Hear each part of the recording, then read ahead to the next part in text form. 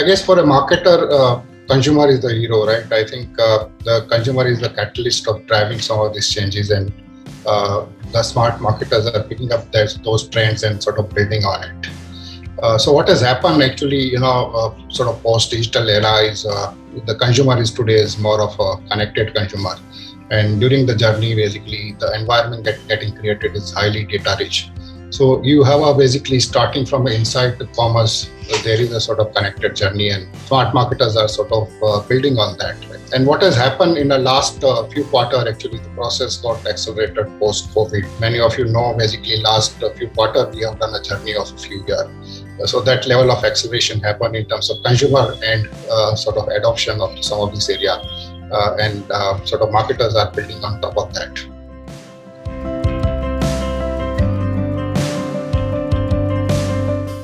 As, as I started, sort of, you know, uh, we need to have a sort of customer-centric structure, and uh, uh, if you have a, you know, the technology as a like a siloed approach or a, like a department within the marketing, then you are not doing justice to that. Uh, what has started happening is that technology and marketing has started overlapping. Uh, maybe it's a slightly cliche to say, and it's been said often in our digital context, right? So, new marketing is a digital marketing.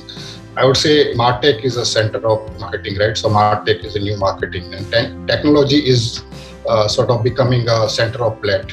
And when we talk about Martech, uh, actually it's not just technology, but you know the larger component which we are talking about. And Martech should include your people, your process, uh, your platform strategy, right? And the technology and data become the foundation to what you're doing with your process, people, uh, platform to drive consumer centricity.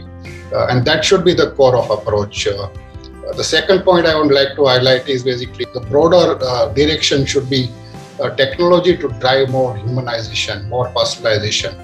Uh, so it's a technology and the personalization, humanization is not a different end of spectrum, but that something has to go together uh, in, a one direction as a strategy. And these are the sort of two thoughts I would like to uh, put here.